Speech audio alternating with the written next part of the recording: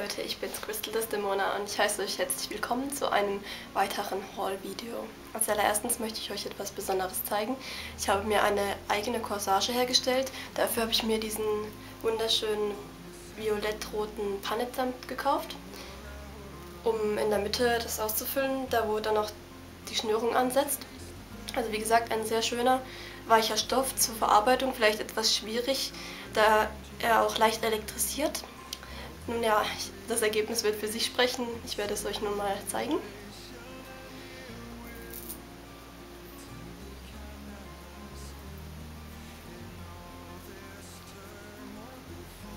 Nun, dies ist meine selbstgemachte Corsage.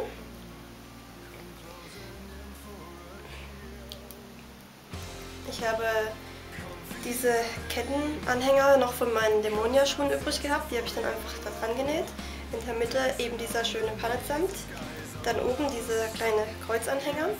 Und hier die Schnürung, die hatte ich übrig von einem Rock, der zu lange Bändel hatte. Und die habe ich dann einfach da dran genäht. Sieht auf jeden Fall besser aus, wenn man es trägt.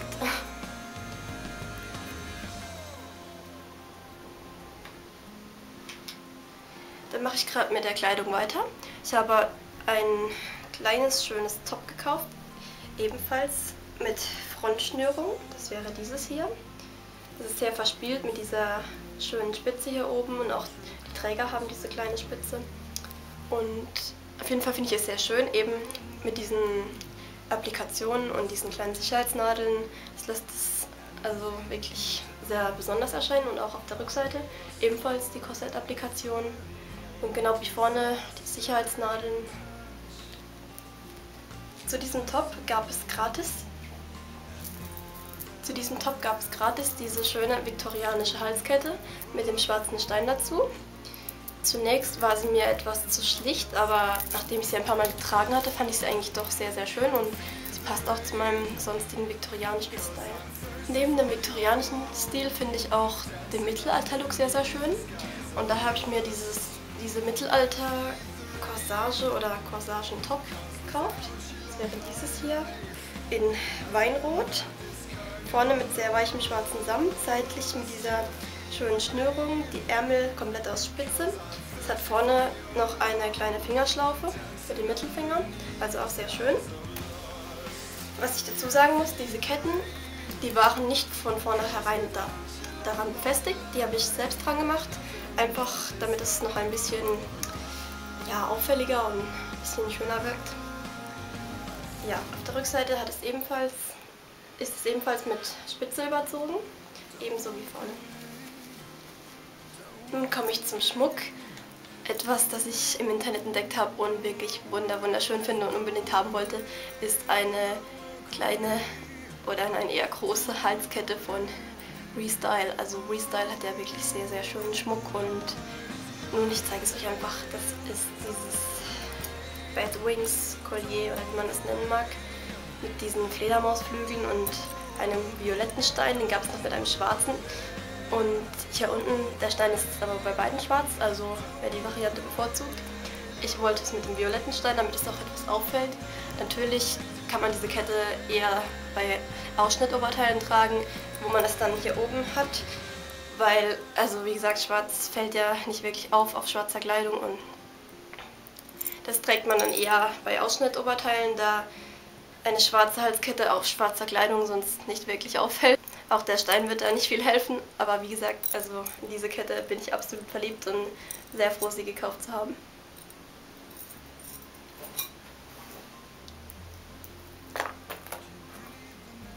Dann habe ich mir noch zwei Paar Ohrringe zugelegt. Zum einen diese kleinen viktorianischen schwarzen Schmuckstücke, bestehend aus kleinen filigranen Steinen. So, weiterhin habe ich noch dieses Paar Ohrringe.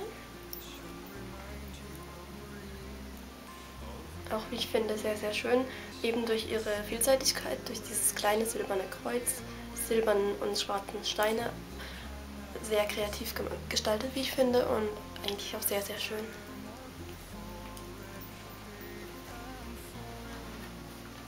Dann habe ich mir noch erneut mein Lieblingsparfüm von Parfüm Noir gekauft. Das ist Vampire Romance, eine Mischung aus Patchouli und Opium. Wer diesen Duft halt Also diesen Duft, den muss man mögen oder eben nicht. Patchouli sagt nicht vielen zu, aber eben diese Mischung mit Opium, das ja diesen süßlichen Geruch hat und sich zusammen mit diesem eher herben Duft von Patchouli vermischt, das macht eben diese Mischung ziemlich einzigartig und ich finde, es riecht sehr, sehr angenehm und auch stark. Also es hält über einen längeren Zeitraum hinweg und ich finde, das sollte es auch. Also Dann habe ich mir noch zwei weitere CDs von Asp gekauft, eher etwas ältere. Das wäre einmal Aus der Tiefe und Weltunter. Eben auch das gleichnamige Lied Weltunter gefällt mir sehr, sehr gut und natürlich auch die restlichen Lieder. Und da ich ein Sammler bin von solchen Artikeln, habe ich mir noch eben zwei weitere CDs zugelegt. Nun kommen wir zu meinen beiden letzten Dingen. Das wären zwei Filme. Zum einen der Film The Color of Magic, die Reise des Zauberers. Es geht eben, um, wie gesagt, um diesen Zauberer Rincewind. Der trifft auf den Touristen Zweiblumen und sie begeben sich auf eine geheimnisvolle und gefährliche Reise. Darunter treffen sie auch Drachen, weitere Zauberer, Conan, den Barbaren, eine bekannte Figur von Robert E. Howard. Und ja, es ist halt ein Film voller Magie und Fantasy.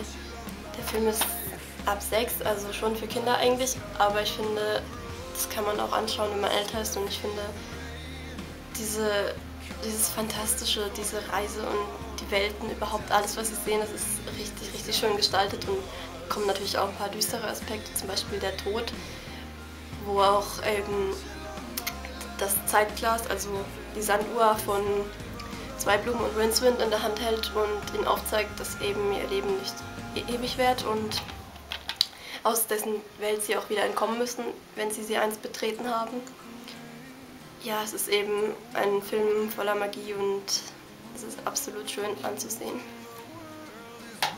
Und dann kommen wir zu einem Kultfilm, den jeder kennen dürfte und auch viele mögen. Das wäre The Crow mit Eric Draven, gespielt von Brandon Lee der leider auf tragische Weise verstarb, ebenso wie in dem Film. Er hatte vor zu heiraten, wie auch seine Filmfigur, und starb vorher. Das ist eigentlich ziemlich tragisch, ebenso wie die Geschichte. Also Eric Draven kehrt aus dem Reich der Toten zurück, um den Tod seiner Verlobten und ihm zu rächen. Begleitet wird er von einer Krähe, die ihm aus Begleitet wird er von einer Krähe, die ihn aus dem Totenreich zurückholt. Er kann dann durch ihre Augen sehen und rächt sich eben an seinen Mördern. Also das ist ein Film, der kommt alles drin vor. Ähm, Gewalt, Sex, Blut, Tod, wirklich alle Themen. Daher ist er auch ab 18 und auch wenn er sehr melancholisch ist, finde ich ihn doch wirklich sehr wunderschön. An einigen Stellen natürlich auch traurig, wo man auch weinen kann. Und, aber es hat einfach dieses diesen Wow-Effekt. Es ist einfach eine wundervolle Geschichte und ich bin ja auch ein Fan von Krähen und Raben und das macht es natürlich noch mehr besonders und es ist auch ziemlich Gothic-lastig, also ein ziemlicher Kultfilm und man sollte ihn auf jeden Fall gesehen haben. Also mich hat es sehr begeistert und berührt. Und eine Kleinigkeit, die ich noch vergessen habe, das wäre dieses wunderschöne Halsband mit einem Herz. Also das war mir anfangs viel zu groß, daher musste ich ein weiteres, einen weiteren Verschluss anfertigen lassen. Da es mir aber nun passt, finde ich, hat es sich doch gelohnt und mir gefällt es nun sehr, sehr gut und liegt auch angenehm an. Ja, also erstmal wundert euch nicht über mein Aussehen. Ich habe vorhin noch ein Dämonenvideo gedreht und bin dementsprechend noch in der Maske. Ich wollte noch euch ein paar Kleinigkeiten zeigen, die ich vergessen habe bei meinem Haul. Also, was heißt vergessen? Ich habe sie erst später gekauft beziehungsweise sie wurden nicht rechtzeitig versendet. Zuallererst einmal wäre das dieses wunderschöne Longsleeve von Darkseid. Es ist aus violettem Samt mit transparenten Bettärmeln. Vorne weist es diese kleine Schnürung auf, die kann man je nach Belieben weiter und enger schnüren. Top, weil ich habe das Oberteil gekauft, das mir wirklich sehr gefällt und auch sehr, sehr preisgünstig war. Ich komme zu einem Stück, das ich wirklich schon seit über drei Jahren begehre und mir nun endlich mal leisten konnte. Das wäre diese wunderschöne Kette von Alchemie Gothic. Da sie aus echtem Silber ist, ist sie dementsprechend nicht gerade preisgünstig. Finde sie wirklich wunderschön mit diesen violetten Steinen. Das passt wirklich super schön zu dem Silber. Und dieses graue Band. Das wäre dann so, also es ist je nach Länge verstellbar. Sehr praktisch, wie ich finde.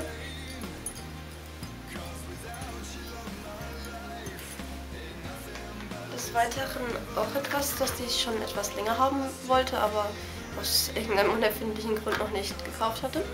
Das sind diese Skeletthand-Haarspangen, wie sie auch viele Frauen in der schwarzen Szene besitzen, sozusagen ein Kultding, ein Must-Have, wie auch immer. Also ich finde sie sehr, sehr schön. Wollte sie eigentlich ursprünglich in grün haben, in diesem Giftgrün. Aber violett fand ich jetzt eigentlich auch sehr, sehr schön. Und da es auch meine, neben schwarz meine Lieblingsfarbe ist, habe ich mich für violett entschieden.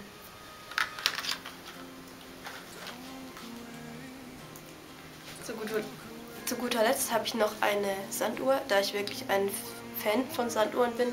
Ich finde diese Stundengläser einfach überaus faszinierend, wie sie da sie ja indirekt auch verkörpern, wie das Menschenlebenszeit abläuft. Und ich finde, man kann da ziemlich viel reininterpretieren und ich finde sie einfach etwas Magisches.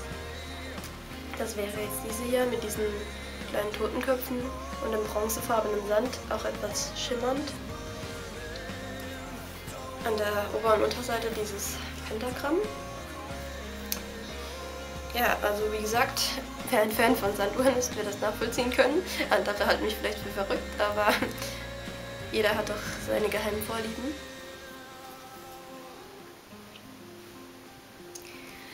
So, das war's für dieses Haul und ich hoffe, es hat euch gefallen und dann sehe ich euch in meinen nächsten Videos. Bye!